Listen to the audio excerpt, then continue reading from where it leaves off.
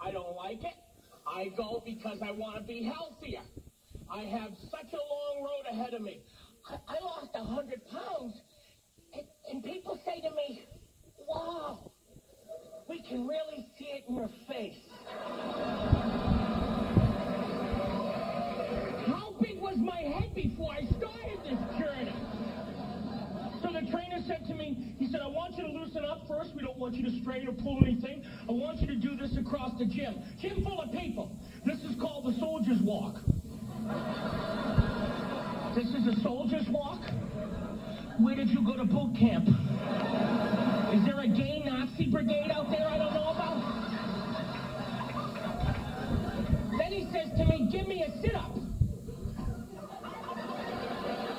I said, oh, Ning, hey.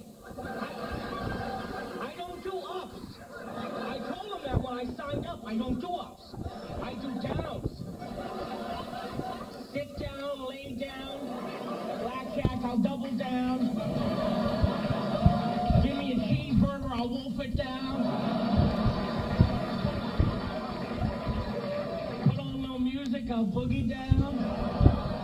But I don't do ups. Ups defy gravity. Gravity is a law.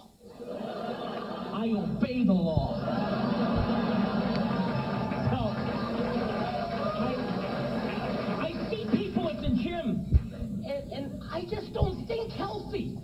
I, I do this machine. Do you know this horrible machine? I don't know the name of it. I call it the horrible machine. I started in February. I could do five minutes, but I would have to cry for two and a half of those minutes.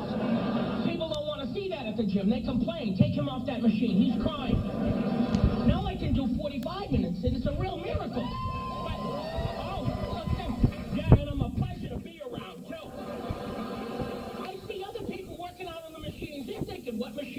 Do next? Maybe I'll do weights. And I'm thinking if I do 45 minutes and live, I'm going to have raviolis and a nap. So, for the last 15 minutes is a chant. Raviolis and a nap. Raviolis and a nap. I'm like this on the machine. The trainer comes by and says, I see you sweating. That's great. You know you're burning fat. Well, good. I hope it's a control burn. Because if this baby goes up all at once, there's going to be cloud over this gym.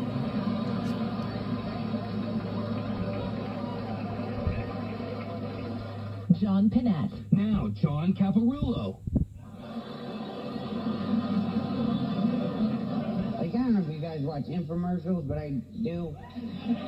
Those are great. I, I mean, I watch them all the time. I love that they invent problems nobody has just to solve that problem. You know, like they'll be selling like a new mop or something.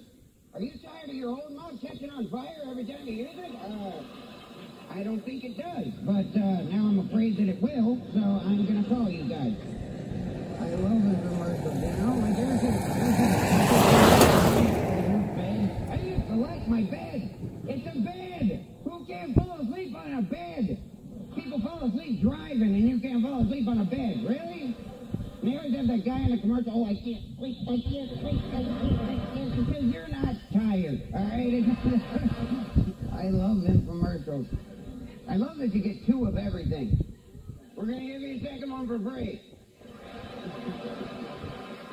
We'll give you a second one if you call in the next four minutes, because everybody needs a second grabber.